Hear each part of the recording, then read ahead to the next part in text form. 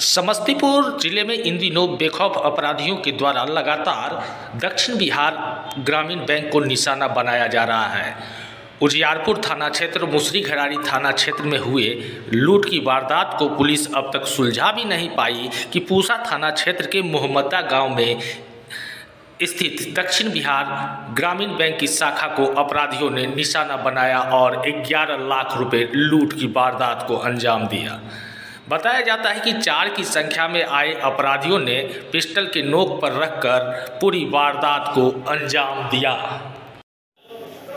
समस्तीपुर में एक बार फिर बेखौफ अपराधियों के द्वारा दक्षिण बिहार ग्रामीण बैंक को निशाना बनाया गया है और इस बार पूसा थाना क्षेत्र के मोहम्मदा बैंक को अपराधियों ने अपना निशाना बनाया है और ये तस्वीर बैंक लूट की वारदात के बाद की है और जहाँ पर करीब 11 लाख से अधिक की लूट हुई है और ये समस्तीपुर ज़िले में तीसरी लूट की बड़ी वारदात है। बताते चले कि एक मार्च को लूट हुई, उसके बाद फिर 15 तारीख को लूट की घटना हुई और आज फिर 11 लाख से अधिक की लूट हुई है। और क्या कुछ घटना हुई थी आप उस समय मौजूद थे? कैसे आए थे? क्या हुई ये गेट से, हमने गेट से चार चार युवक आए, हेलमेट लगाए हुए थे।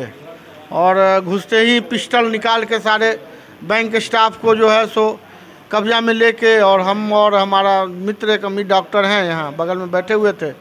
हम लोग पर भी एक आदमी पिस्टल से खड़ा था, बोला था, बिल्कुल अस्थिर रहने के लिए, मोबाइल नहीं निकालने के लिए, मोबाइल से कोई बात नहीं करने के लिए। और बैंक स्टाफ को कब्जे में करके उनके साथ मारपीट भी लोग किए। लपड़ थप्पड़ भी और बोले कि स्ट्रांग रूम का, चाबी कहाँ है? चाबी खोलो। बार बार बोल रहे थे लोग थोड़ा देर किए तो इन लोग को मार लोग मारा भी। तब तो डर के मारे ये लोग स्टोर रूम खोल दिए और कैश ले लेके वो लोग चला गया। क्या नाम आपका? राहुल कुमार। सवा दस बजे के आसपास चार अपराधी जो है पिस्टल लेके जो है अंदर घुसे और सभी कर्मियों पे पिस्टल तान दिए। उसके बाद हमारे कैशियर साहब से कैश का चाबी लेके जो है सारा कैश जो है लेके निकल गए यहाँ से। अपराध हम लोग के साथ मारपीट भी किए हैं। पिस्टल के बॉट से सभी मतलब कि कर्मी को हम लोग को मारे हैं और ब्रांच का सीसीटीवी का डीवीआर भी लेके वो चले गए हैं साथ में अपने। ये लगभग ग्यारह लाख की अभी तो पूरा काउंट नहीं हुआ है लगभग ग्यारह लाख की लूट है लगभग। लगभग बारह लाख।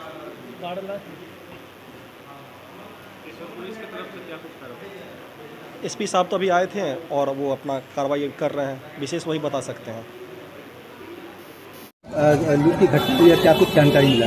ये दक्षिण बिहार ग्रामीण बैंक है पूसा थाना क्षेत्र के अंतर्गत और इसमें आज एक सुबह साढ़े दस बजे के आसपास लूट की घटना घटित हुई है। करीब दस ग्यारह लाख के आसपास का राशि को लूटा गया। है चार अपराधी चार अपराधी आए थे सुबह सुबह यहाँ पर और लूट की घटना घटित हुई है।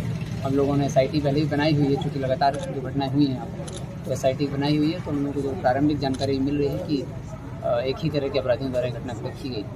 तो अनुसंधान को आगे बढ़ाए। कुछ सीसीटीवी फुटेज भी बरामद हुआ है नहीं यहाँ से तो अनुसंधान चल रहा है। अनुसंधान की अगले कार्रवाई चल रही है जो भी एविडेंस आएगा आधार कार्रवाई की जाएगी। गार्ड यहाँ मौजूद थे क्या? कोई पुलिस का बैंक में तो कोई गार्ड नहीं है यहाँ बैंक तीनों दक्षिण बिहार ग्रामीण बैंक में और इनफैक्ट सारे ग्रामीण बैंक में सारे बैंकों की भी एक मीटिंग हम लोगों ने बुलाई थी और उनको भी निर्देशित किया है कि अपने स्तर से गार्ड की व्यवस्था रखें।